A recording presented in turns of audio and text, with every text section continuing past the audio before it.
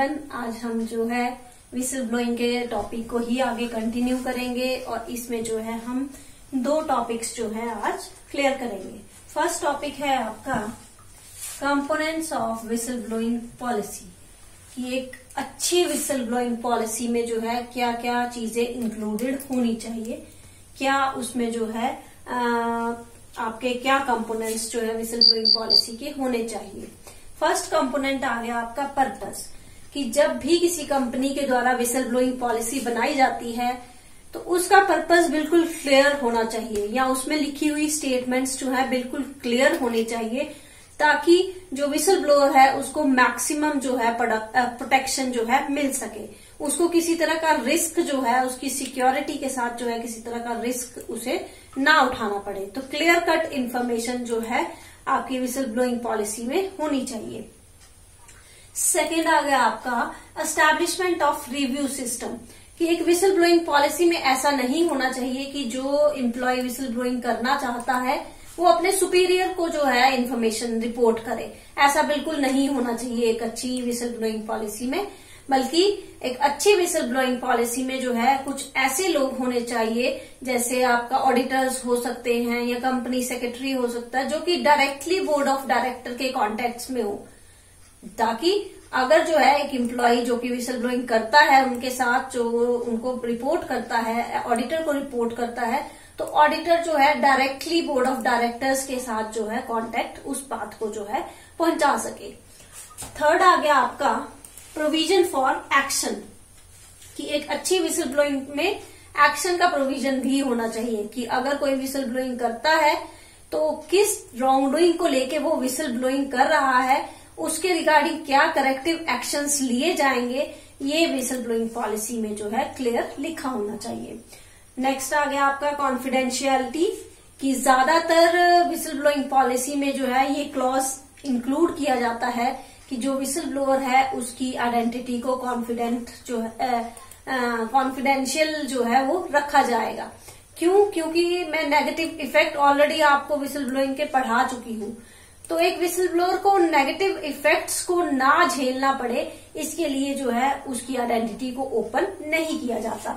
Next आ गया आपका policy against retaliation retaliation का मतलब होता है कि जिसके खिलाफ विसल ब्लोइंग कर रही है, की जा रही है, क्या उसके पास इतनी पावर है कि वो वापस जो है विसल ब्लोअर को किसी तरह का रिस्क दे सके? तो उसके खिलाफ भी इस एक अच्छी विसल ब्लोइंग पॉलिसी में जो है, उसके खिलाफ के एक्शन लिए जाएँगे, वो भी बताया होना चाहिए कि जिसके खिलाफ विसल ब्लोइंग की जा रही है, अगर वो हायर रैंक पे है तो वो तो विसल ब्लोअर को कंपनी से निकाल सकता है। मतलब वो बदला, एक तरह से रिटेलिएशन का मतलब होता है बदला लेना। तो वो बदला ले सकता है विसल ब्लोइंग के बाद कि वो कंपनी से निकाल सकता है विसल ब्लोअर को। तो उस पोजीशन का वो अननेसेसरी जो है फ़ायदा ना उठाए, इसके लिए भी पॉलिसी जो है वहाँ पे होनी चाहिए।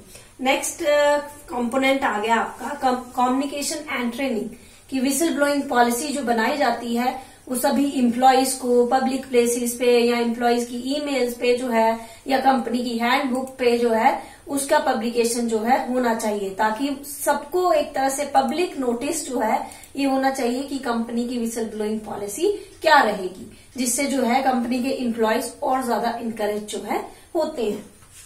और लास्ट कंपोनेंट आ गया whistle blowers as Alice whistle blowing policy जो है, उसमें इस तरह के क्लॉज होने चाहिए कि विसल ब्लोअर को जो है सहयोगी तौर पे देखा जाए, उसको एडवर्सरी के तौर पे। कि ये कंपनी के खिलाफ ही काम कर रहा है, ऐसे उसकी पोजीशन जो है नहीं बनानी चाहिए।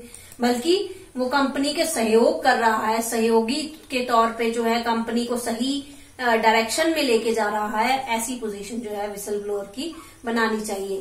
तो ये थी हमारे विसल ब्लोइंग पॉलिसी के क्या मेन कंपोनेंट्स हैं। नेक्स्ट टॉपिक जो आज हम करेंगे वो है barriers to internal whistle blowing policy कि विसल ब्लोइंग पॉलिसी कई कंपनीज़ तो बना देती हैं, लेकिन उसको सही ढंग से लागू नहीं किया जा सकता। कई ऐसे बैरियर्स उसके रास्ते में कई कठिनाइयाँ आती हैं कि कंपनी अपनी विसल ब्लोइंग पॉलिसी को सही ढंग से लागू नहीं कर पाती। तो वो कठिनाइयाँ या वो बैरियर्स क्या हैं? लैक ऑफ़ ट्रस्ट कि जो इम्प्लॉयज और इम्प्लॉयर का जो रिलेशनशिप होता है, उसमें ट्रस्ट का लैक होता है। इम्प्लॉयज हमेशा यही सोचते हैं कि अगर हम रिपोर्ट करेंगे तो इम्प्लॉयर हमारी बात पे जो है ट्रस्ट नहीं करेगा। दूसरा, अगर इम्प्लॉयर ये सोचता है कि इम्प्लॉय किसी चीज़ की रिपोर्ट कर रहा है तो हो सकता है उसका अपना कोई फ़ायदा हो, इस वजह से वो रिपोर्ट कर रहा है। तो दोनों में ट्रस्ट का जो है वो इशू रहता है। नेक्स्ट बैरियर आ गया अनविलिंगनेस ऑफ़ इम्प्लॉयज कि ज़्यादातर इम्प्लॉयज जो है वो विसल ब्लोइंग नहीं करना चाहते। वो जानते भी हैं कि कंपनी में कुछ मिसकंडक्ट हो रहा है रोंग डूइंग हो रही है, फिर भी वो विसल ब्लोइंग नहीं करते। क्यों? क्योंकि विसल ब्लोइंग के कई नेगेटिव इफेक्ट्स जो हैं उनकी लाइफ पर पड़ते हैं। जैसे फाइनेंशियल रिस्क उनको नौकरी से निकाल दिया जाता है सोशल सिक्योरिटी उनको झेलनी पड़ती है। तो इन सभी रिस्क को ना उठाने के लिए जो है वो विसल ब्लोइंग नहीं करते। नेक्स्ट बैरियर आ गया मिसगाइडेड यूनियन सॉलिडेरिटी कि कई जो है विसल ब्लोइंग पॉलिसीज़ जो है इस तरीके से बनाई जाती हैं, जो कि जैसे लेबर यूनियन है, इस तरह की कई यूनियंस बनाई होती हैं कंपनी में तो उनको मिसगाइड किया जाता है। कि लिखा कुछ और है विसल ब्लोइंग पॉलिसी में, लेकिन जब एक्चुअल में रिपोर्टिंग की जाती है तो कोई और फैसला जो है उसके खिलाफ ले लिया जाता है, जिससे एम्प्लॉयज़ भी जो है डिस्करेज हो जाते हैं ऐसी विसल ब्लोइंग पॉलिसी को देख के। नेक्स्ट आपका बैरियर आ गया। Management is not held to the same standard कि कई बार इम्प्लॉयज को ऐसा लगता है कि कंपनी में मिसकंडक्ट हो रहा है, लेकिन वही चीज़ मैनेजमेंट को जो है गलत नहीं लगती। तो दोनों एक ही स्टैंडर्ड पे जो है कई बार फिट नहीं होते। कि इम्प्लॉय के अकॉर्डिंगली कोई मिसकंडक्ट हो रहा है, लेकिन मैनेजमेंट के अकॉर्डिंगली उस मिसकंडक्ट को करना ज़रूरी है कंपनी के हित के लिए तो वो सेम स्टैंडर्ड जो है फॉलो नहीं होते एम्प्लॉयर और एम्प्लॉय के बीच में।